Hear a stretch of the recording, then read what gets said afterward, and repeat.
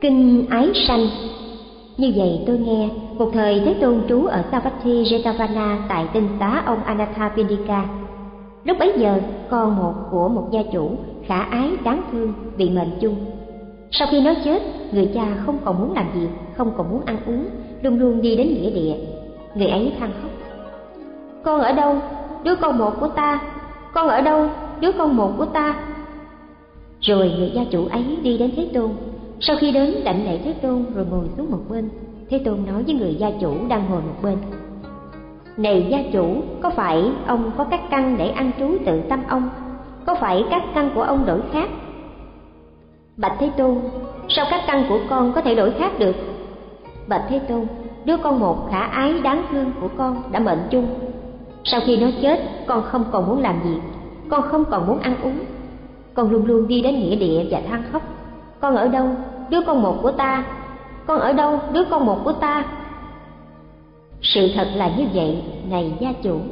Vì rằng, này gia chủ, sầu bi khổ ưu não do ái sanh ra hiện hữu từ nơi ái nhưng đối với ai bạch thế tôn sự tình sẽ như vậy sầu bi khổ ưu nải do ái sanh ra hiện hữu từ nơi ái vì rằng bạch thế tôn hỷ lạc do ái sanh ra hiện hữu từ nơi ái rồi người gia chủ không quan hỷ lời thế tôn dạy, chống bán lại. Từ chỗ ngồi đứng dậy và ra đi. Lúc bấy giờ, một số người đánh bạc đang chơi đổ nhất lục không xa thế tôn bao nhiêu. Người gia chủ kia đi đến những người đánh bạc ấy. Sau khi đến, nói với những người ấy như sau. Này quý vị, ở đây tôi đi đến sa môn Gautama. Sau khi đến, đảnh lễ sa môn Gautama rồi ngồi xuống một bên. Này quý vị sa môn Gautama nói với tôi đang ngồi một bên. Này gia chủ có phải ông có các căn để ăn trú tự tâm ông? Có phải các căn của ông đổi khác? Này quý vị, được nghe nói vậy, tôi nói với sa môn gotama bà thế tôn, sao các căn của con có thể đổi khác được? Bà thế tôn, đứa con một khả ái, đáng thương của con đã mệnh chung. Sau khi nó chết, con không còn muốn làm gì.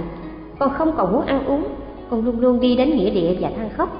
Con ở đâu, đứa con một của ta? Con ở đâu, đứa con một của ta?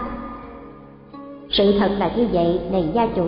Vì rằng, này gia chủ, sầu bi khổ ưu đãi do ái sanh ra hiện hữu từ nơi ái. Nhưng đối với ai, bạch thế tôn, sự tình sẽ như vậy. Sầu bi khổ ưu não do ái sanh ra hiện hữu từ nơi ái.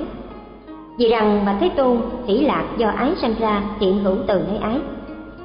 Này quý vị, không quan hỷ lời thế tôn dạy, ta chống bán lại, từ chỗ ngồi đứng dậy và ra đi sự thật là như vậy, này gia chủ. Sự thật là như vậy, này gia chủ. Này gia chủ, hỷ lạc do ái sanh, hiện hữu từ nơi ái. Rồi người gia chủ suy nghĩ, có sự đồng ý giữa ta và những người đánh bạc. Rồi bỏ đi. Và cuộc đối thoại ấy dần dần được truyền đi và truyền đến trong nội cung.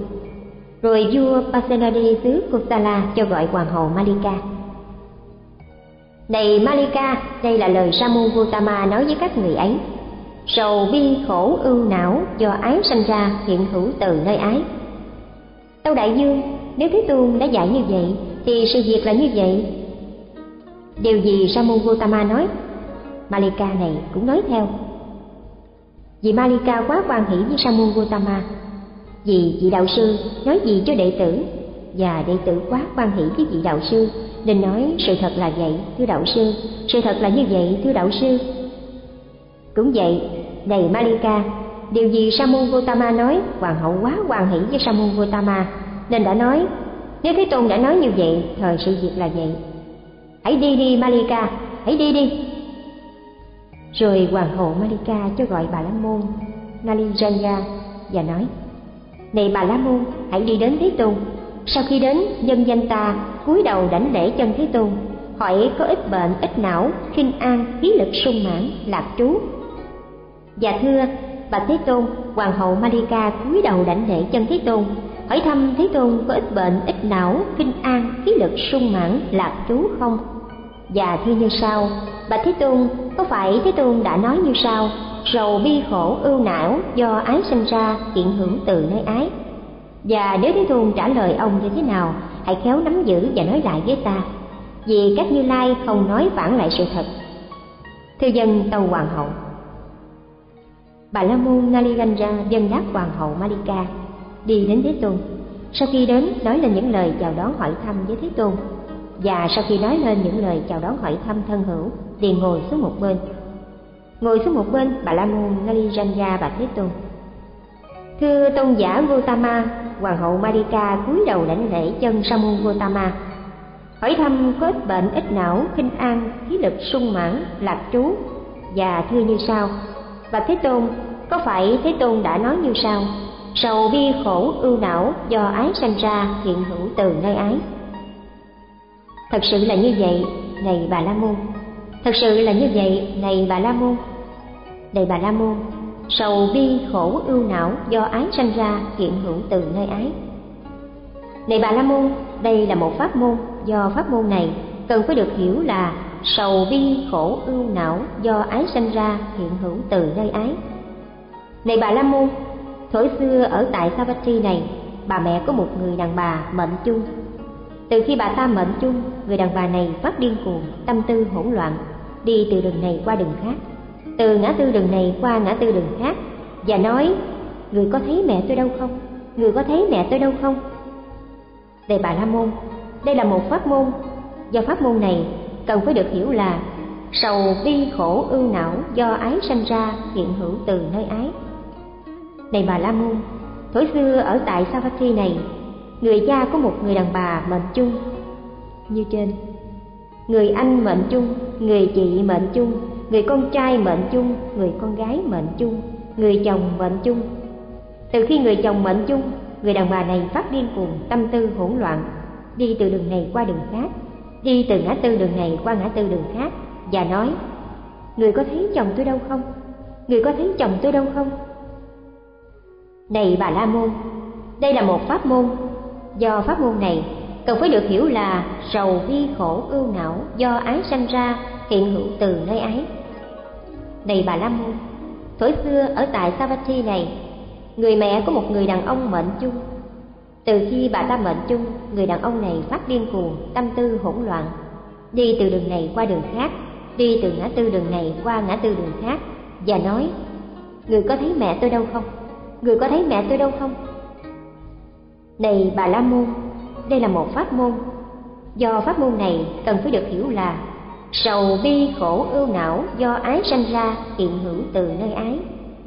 Này bà la môn Thổi xưa ở tại Savatthi này, người cha có một người đàn ông mệnh chung như trên. Người anh mệnh chung, người chị mệnh chung, người con trai mệnh chung, người con gái mệnh chung, người vợ mệnh chung. Từ khi người vợ mệnh chung, người đàn ông này phát điên cuồng, tâm tư hỗn loạn, đi từ đường này qua đường khác, đi từ ngã tư đường này qua ngã tư đường khác và nói: Người có thấy vợ tôi đâu không? Người có thấy vợ tôi đâu không?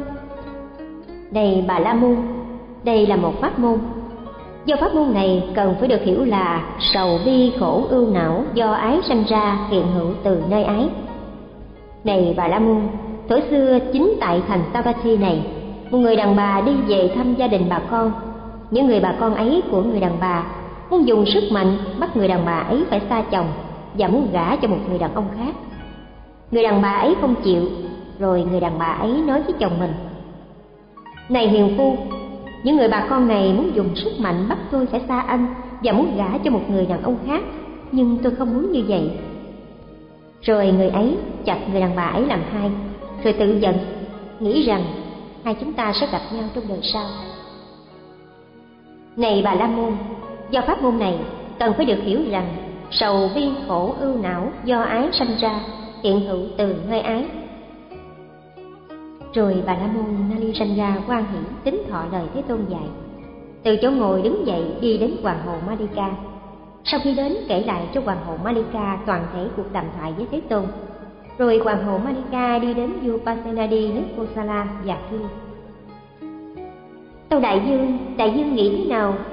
Đại dương có thương công chúa vajiri của thiếp không? Phải, này malika, ta thương công chúa vajiri. Tâu Đại Dương, Đại Dương nghĩ thế nào? Nếu có một sự biến dịch đổi khác xảy đến cho công chúa Vajiri của Đại Dương, Đại Dương có khởi lên sầu bi khổ ưu não không? Này Malika, nếu có sự biến dịch đổi khác xảy đến cho công chúa Vajiri của ta, thì sẽ có một sự thay đổi đến đời sống của ta làm sao không khởi lên nơi ta sầu bi khổ ưu não chính liên hệ đến sự tình này tâu đại dương mà thế tôn, bậc tri giả, kiến giả, bậc a la hán chánh đẳng giác đã nói, sầu bi khổ ưu não do ái sanh ra, hiện hữu từ nơi ái. Tâu đại dương đại dương nghĩ thế nào? Nữ sắc đế lị vasava, đại dương có thương yêu không? Này malika, ta có thương yêu nữ sắc đế lị vasava. Tâu đại dương đại dương nghĩ thế nào? Nếu có một sự biến dịch đổi khác xảy đến cho nữ sắc đế lị vasava đại dương có khởi lên sầu bi khổ ưu não không? Này malika, nếu có một sự biến dịch, đổi khác xảy đến cho nữ sắc đế lị vatapa, thì sẽ có một sự đổi khác xảy đến cho đời sống của ta. Làm sao không khởi lên nơi ta sầu bi khổ ưu não? Chính liên hệ đến sự tình này, tâu đại dương, mà thế tôn, bậc tri giả, kiến giả, bậc a la hán chánh đẳng giác đã nói, sầu bi khổ ưu não khởi lên do ái sanh ra hiện hữu từ nơi ái tâu đại dương đại dương nghĩ thế nào tướng quân vidudapa đại dương có thương quý không này marika ta có thương quý tướng quân Vidudaba. Tâu Đại Dương, Đại Dương nghĩ thế nào? Nếu có một sự biến dịch đổi khác xảy đến cho tướng quân Vidudaba, Đại Dương có khởi lên sầu đi khổ ưu não không? Này Malika, nếu có một sự biến dịch đổi khác xảy đến cho tướng quân Vidudaba, thì sẽ có sự đổi khác xảy đến cho mạng sống của ta, làm sao không khởi lên nơi ta sầu bi khổ ưu não? chính liên hệ đến sự tình này tâu đại dương mà thế tôn bậc tri giả kiến giả bậc a la hán chánh đẳng giác đã nói sầu vi khổ ưu não khởi lên do ái sanh ra hiện hữu từ nơi ái. Tâu đại dương đại dương nghĩ thế nào? Đại dương có yêu thương tiếp không? Phải, này malika, ta có thương yêu hoàng hậu. Tâu đại dương đại dương nghĩ thế nào? Nếu có một sự biến dịch đổi khác xảy đến cho thiếp, đại dương có khởi lên sầu bi khổ ưu não không? Này malika, nếu có một sự biến dịch đổi khác xảy đến cho hoàng hậu, thì sẽ có một sự đổi khác xảy đến cho mạng sống của ta. Làm sao không khởi lên nơi ta sầu bi khổ ưu não? Chính liên hệ đến sự tình này, tâu đại dương. Mà thế tôn, bậc chi giả, kiến giả, bậc a la hán chánh đẳng giác đã nói, sầu, bi, khổ, ưu, não, khởi lên do ái sanh ra, hiện hữu từ nơi ái. Tâu đại dương đại dương nghĩ thế nào? Đại dương có yêu thương dân chúng kasi và kosala không? Phải, này malika, ta thương yêu dân chúng kasi và kosala này malika nhờ sức mạnh của họ chúng ta mới có được gỗ diên đàn từ nước kasi và dùng cấp dòng hoa hương liệu vấn sáp tâu đại dương đại dương nghĩ thế nào nếu có một sự biến dịch đổi khác xảy đến cho dân chúng Kasi và Kosala, đại dương có khởi lên sầu bi khổ ưu não không? Này Malika, nếu có một sự biến dịch đổi khác xảy đến cho dân chúng nước Kasi và Kosala, thì sẽ có một sự đổi khác xảy đến cho mạng sống của ta. Làm sao không khởi lên nơi ta sầu bi khổ ưu não? Chính liên hệ đến sự tình này, Tâu Đại Dương, mà Thế Tôn, bậc tri giả, kiến giả bậc a la hán chánh đẳng giác đã nói sầu bi khổ ưu não khởi lên do ái sanh ra hiện hữu từ nơi ái. Thật di diệu thai này malika thật hy hữu thai này malika. Thế tôn đã thể nhập nhờ trí tuệ đã thấy nhờ trí tuệ đến đây malika hãy sửa soạn tẩy trần rồi Yubasenadi nước Kosala từ chỗ ngồi đứng dậy đắp thượng y vào một bên vai, chắp tay giáng thế tôn và nói lên ba lần lời cảm hứng sau đây. Đảnh lễ thế tôn, bậc a la hán chánh đẳng giác. Đảnh lễ thế tôn, như trên. Đảnh lễ thế tôn, bậc a la hán chánh đẳng giác.